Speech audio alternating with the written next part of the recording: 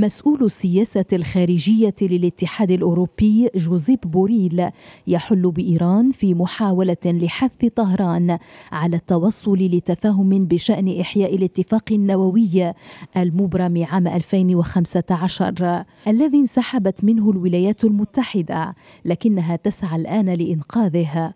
والتقى بوريل بوزير الخارجية الإيراني حسين أمير عبد اللهيان في العاصمة طهران.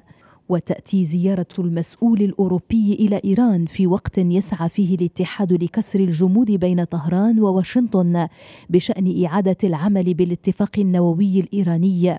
وتنتظر الولايات المتحدة ردا من إيران بشأن إحياء هذا الاتفاق الذي تقيد إيران بموجبه برنامجها النووي مقابل تخفيف العقوبات الاقتصادية دون الخوض في قضايا غير جوهرية.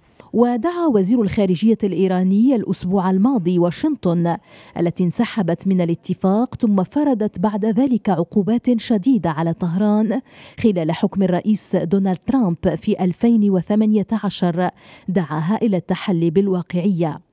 واعتبارا من أبريل من عام 2021 بدأت إيران والأطراف التي لا تزال منضوية في الاتفاق وبمشاركة أمريكية غير مباشرة مباحثات في فيينا تهدف إلى احيائها وحققت المباحثات تقدما جعل المعنيين قريبين من إنجاز تفاهم إلا أنها علقت اعتبارا من مارس مع تبقي نقاط تباين بين طهران وواشنطن.